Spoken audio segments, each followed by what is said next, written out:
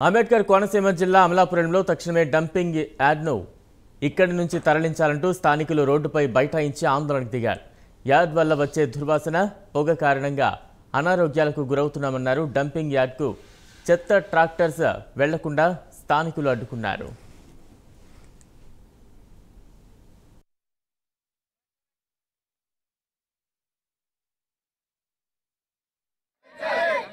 వెంటనే!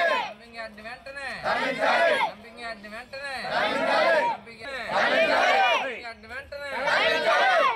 వెంటనే. సుమారు ఇరవై ముప్పై సంవత్సరాలుగా డంపింగ్ యార్డ్ సమస్య ప్రజలందరినీ పట్టిపిస్తుంది. ఒక్క ఇరవై ఏడు ఇరవై ఎనిమిది వార్డులు గల ఈ డంపింగ్ యార్డ్ ఏదైతే ఉందో దీనివల్ల ప్రతిరోజు కూడా సుమారు పది పదిహేను సంవత్సరాల నుంచి పిల్లలు పిల్లల దగ్గర నుంచి పెద్దల దగ్గర అందరూ కూడా చాలా ఇబ్బంది పడుతున్నాం.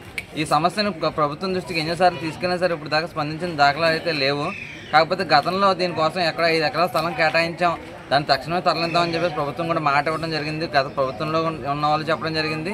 ప్రస్తుత ప్రభుత్వం ఉన్న వాళ్ళు కూడా చెప్పడం జరిగింది. ప్రస్తుతం ఉన్న ఎవరైతే మినిస్టర్ గారు ఉన్నారో వాళ్ళు కాంగ్రెస్ ప్రభుత్వం నుంచి కూడా మా అందరికీ చెప్పే మాట ఏంటంటే డంపింగ్ యార్డ్ని తరలించాం తరలించాం అంటున్నారు. కానీ ప్రజల ప్రాణాలతో చెలగాటం ఆడుతున్నారు. ఇవాళ గత వారం రోజులుగా చూసుకున్నట్టయితే ప్రజలందరూ కూడా ఈ పొగ వల్ల ఇంట్లో నుంచి బయటకు వచ్చే అవకాశం కూడా లేకుండా పోయింది. ఇవాళ పట్టణంలో ప్రజలందరికీ దగ్గు ఈ ఆస్మా అలాంటి కంప్లైంట్ ముఖ్య కారణం ఏదైతే ఉంది